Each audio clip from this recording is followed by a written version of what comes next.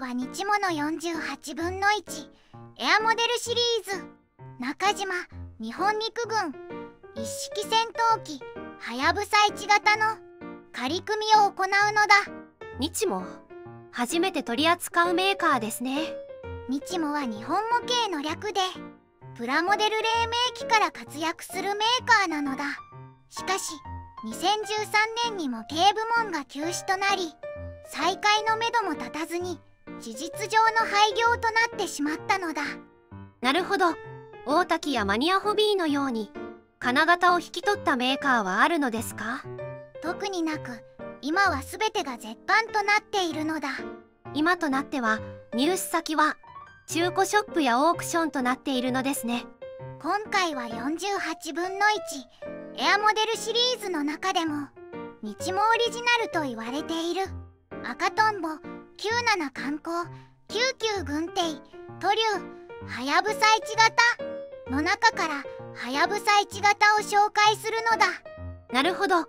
ところで日もオリジナルとは？48分の1エアモデルシリーズの中にはマルサンというメーカーから引き取った金型があるのだ。それらと分けるために日もオリジナルと表現したのだ。そうなのですねこちらのキットはいつ頃販売されたものなのでしょうか？初出しは1977年なのだ。半世紀近く前ですね。この機体は他メーカーからも出てるのでしょうか？はやぶさ1型に絞って紹介すると2001年に長谷川から出ているのだ。2型や3型はファインモールドやマイクロエースからも出ているのですね。そうなのだ冷戦と同様に活躍した日本陸軍の主力戦闘機なのだが48分の1スケールキットとして販売されたメーカー数は少ないのだ。このキットの紹介する理由は何でしょうか？2023年現代46年前の金型なんだけど部品点数の多さディティールの凄さがまさに大パーツなのだ。大パーツ？考古学などでその時代と技術的にそぐわない出土品を大パーツというのだ。つまり販売した当時のプラモデルに比べこのキットの内容がすごすぎるってことですか？そうなのだ。まずはパッケージ内容を確認するのだ。はいはい。パッケージイラストは発売時期によって2種類あるようなのだ。今回は古い方のパッケージですね尾翼が黄色矢印なので飛行第64戦隊第3中隊所属機と思われるのだ。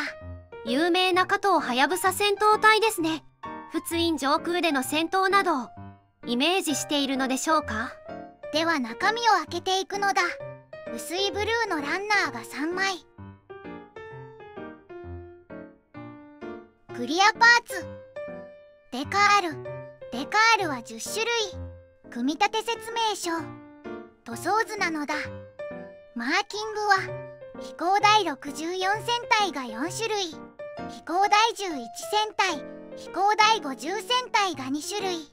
対空軍機飛行第59戦隊明けの飛行学校所属機のマーキングなのだ。随分と多いですね。さすがにデカールは黄ばみが出てますね。黄ばみは紫外線で白くなるかもなのだあとはバラバラになる対策にマイクロリキッドでカールフィルムを塗るくらいなのだ。なるほど。無理ならば塗装に切り替えるしかありませんね。部品点数は84点で48分の1キットでは最新キット並みの部品点数なのだ。次は操縦席なのだ。はいはい。操縦席は全部で18パーツこの他に胴体左右内側にケーキ板など合計9パーツを接着するのだ。操縦席が細かいパーツで精密に再現されてますね。パイロットフィギュアは2体付属するのですね。座ったタイプと直立タイプの2種類付属しているのだ。はいはい。エンジンはどんな感じでしょうか？エンジンはさらにすごいのだ。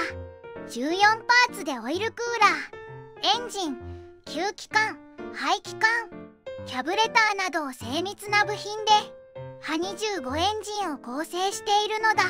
さらに操縦席とエンジンをつなげるエンジンマウント部分があるのね。エンジンから操縦席までつながったものだけどこのほとんどが完成時に見えなくなるのは残念なのだ。ここは見せる感じで改造するのもありですね。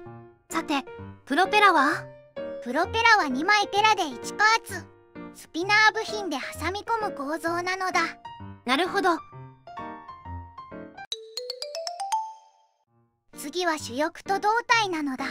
いわゆるしの字ですね。主翼は3パーツ構成で上下貼り合わせ。照明灯と気筒管は別パーツとなっているのだ。はいはい。主翼のパネルラインは全面にベッド表現にはっきりとしたオーモールドなのだ。美しいモールドですね。表面がなし地なので下地処理が必要かもなのだ。なるほど。胴体はどうでしょうか？胴体は左右貼り合わせで操縦席やエンジン一式を挟み込む感じなので操縦席などは接着前に塗装をした方がいいのだ。胴体も素晴らしいディティールですね。胴体も表面がなし地なので下地処理をした方が良いかもなのだ。尾翼は左右1枚ずつなのだ。いつものようにシンプルな構成ですね。カウリングは1パーツのみなのだ。なるほど。次はクリアパーツや吊るし物なのだ。はいはい。クリアパーツの透明度は問題なし。2パーツ構成なので開閉選択が可能なのだ。せっかくの操縦席を見せたいですしね足回りは左右主脚がそれぞれ5パーツ構成なのだ。モナカ割りされたタイヤにホイールを挟んで主脚に接着その後カバーも接着なのだ。なるほど。ビリンはどうでしょうか？ビリンは別パーツで準備されてるので胴体下部に接着なのだ。ビリンは折ってしまう可能性があるので別パーツなのは取り回しが楽ですね。吊るし物は左右分割の増装が2個つくのだ。左右主翼の下に接着ですね。最後に総評なのだ。1977年発売のキットで全面にベッドでパネルラインは筋彫りオーモールドでディティールは最高なのだ。なるほど。マイナスなところは表面処理が必要なところですかね。さらに時代を感じさせない操縦席やエンジンの精密な造形。後発商品にはかなわない部分もあると思うけど未だに48分の1はやぶさ1型のベストキットとして語られることが多いキットなのは納得なのだ。このような素晴らしいキットが現在発売されてないことが残念ですね。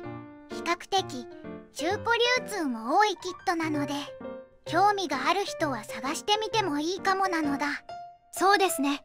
ではでは次回以降も飛行機プラモデルのレビューを続けていくのだ。ではバイバイ。バイバイ